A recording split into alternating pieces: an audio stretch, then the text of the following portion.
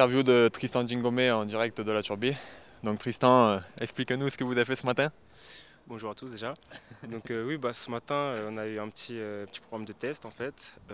donc on a eu de la course autour du terrain, on a eu des jumps, donc des sauts.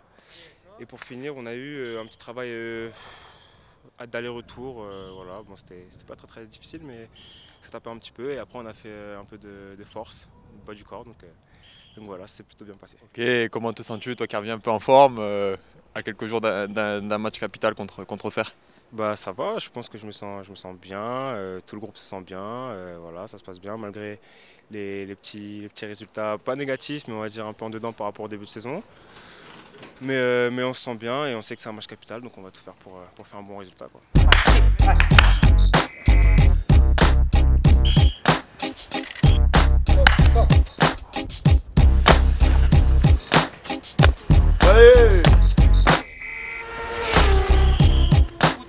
Comment te sens-tu par rapport aux entraînements, par rapport au match, etc. Peux-tu nous dire un petit peu plus sur ton état physique, s'il te plaît? Bon, écoute, ça va un peu mieux. J'ai eu une petite euh, baisse de régime euh, qui a duré 15, 15, jours.